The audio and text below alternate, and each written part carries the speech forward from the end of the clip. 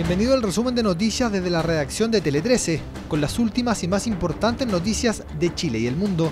Viernes 26 de enero, soy Camilo Calderara y este es el informe de hoy.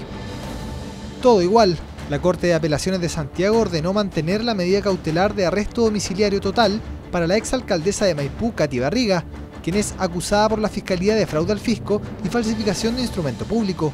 El Ministerio Público había solicitado la prisión preventiva para Barriga sin embargo, el Tribunal de Alzada rechazó aquel recurso.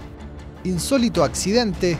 El metro de Valparaíso vio interrumpido su servicio la mañana de este viernes porque una roca rodó hasta las vías e impactó uno de los vagones del tren porteño. Se presume que el desprendimiento de la roca se generó por un fuerte sismo que se registró la madrugada de este viernes en la región de Valparaíso. Pese a que los pasajeros tuvieron que evacuar el tren afectado, no hubo lesionados.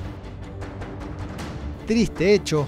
Un niño de 12 años murió la noche de este jueves luego de recibir un disparo en Pudahuel, en la región metropolitana. El subsecretario del Interior, Manuel Monsalve, confirmó que el menor de edad estaba junto a un tío de 18 años, quien estaba comprando droga cuando se produjo la balacera.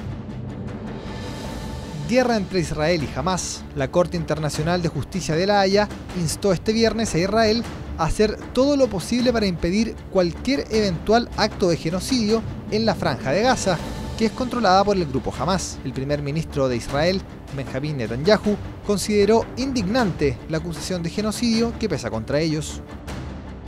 Presentación en sociedad, el flamante refuerzo de Colo Colo Arturo Vidal podría hacer su estreno este sábado, cuando el cacique juegue en la Copa Viña del Mar ante Everton en el Estadio Sausalito. El técnico de los Salvos, Jorge Almirón, probó una formación con Vidal de titular en el mediocampo, acompañado de Leonardo Gil y Esteban Pavés. Con esta información damos el cierre al resumen de noticias. Recuerda que siempre más en nuestro sitio web ttrc.cl.